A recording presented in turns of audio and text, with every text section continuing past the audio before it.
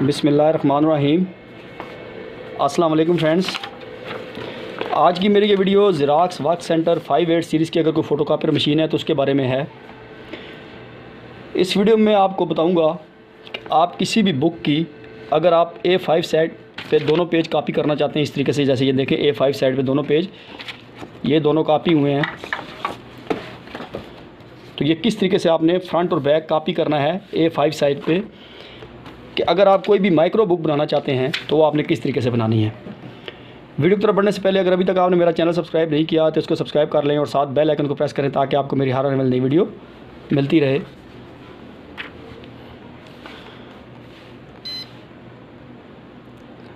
सबसे पहले आपने वही तरीका है, ये देखें लेआउट एडजस्टमेंट में आना है ओरिजिनल साइज़ में आना है। अब क्योंकि ये बुक है तो ये बुक देखें, ये पूरा स्कैनर कवर कर रही है। तकरीबन एंड में थोड़ी सी जगह बच रही है।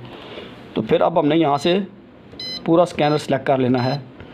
Eleven eleven into seventeen inch इसको ओके करें। अब आपने यहाँ से आउटपुट फॉर्मेट में आना है। आउटपुट फॉर्मेट में आके ये बुकलेट क्रिएशन में आ जाएँ। इसको ऑन करें। अब अगर आपने दोनों साइड पेज करने हैं तो यहाँ से दोनों साइड का मतलब ये है, ये दोनों नहीं।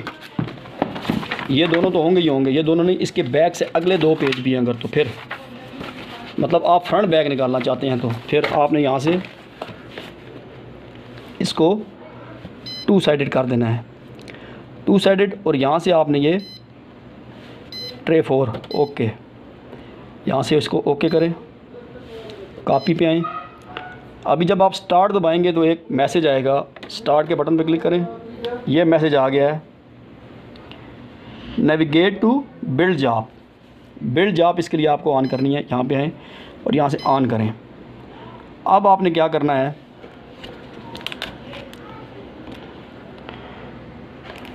यहाँ से स्टार्ट पे क्लिक करें। मेरे हाथ में असल में मोबाइल है, हो सकता है थोड़ी सी कापी गड़बड़ कर जाए, क्योंकि एक हाथ मेरा फारग नहीं है।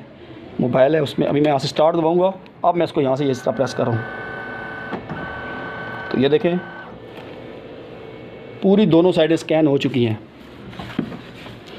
अब इसी तरीके से इस पे आए अगले पेज पे। आप देखें, बुक पहले ऐसे पड़ी थी। आप ऐसे नहीं रखनी। अब इसको ऐसे आपने घुमा देना है। अब ये साइड इस तरह रखनी है। ठीक है? अब फिर स्टार्ट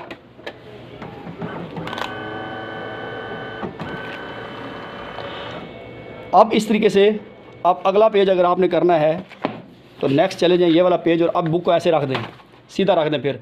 अगला पेज उल्टा। अब मैंने सिर्फ़ आपको सिखाने के लिए कर रहा हूँ, इसलिए मैं सिर्फ़ एक पेज को सबमिट करने लगा हूँ।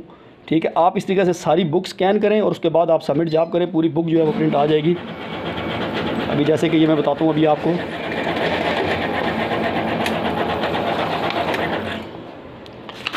तो ये देखें,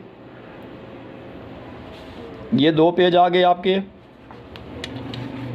यहाँ से अगर मैं इसको काट लूँ,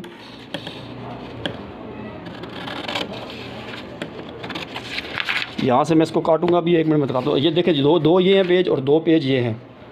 ठीक है? ये फ्रंट आ गया, ये बैक आ गया। जैसे कि अभी मैं इसको एक मिनट, में इसको वीडियो को पास करके इसको काट लेता हूँ। तो ये देखें जी, ये आ गया आपका फ्रंट और ये आपके आ गया सीधा बिल्कुल बैक। तो इस तो फ्रेंड इस तरीके से आपने कापी करनी है। कोई भी बुक जो है, अगर उसको आप माइक्रो कापी करना चाहते हैं तो अगर वीडियो पसंद आई हो तो लाइक और शेयर करें। Thank you.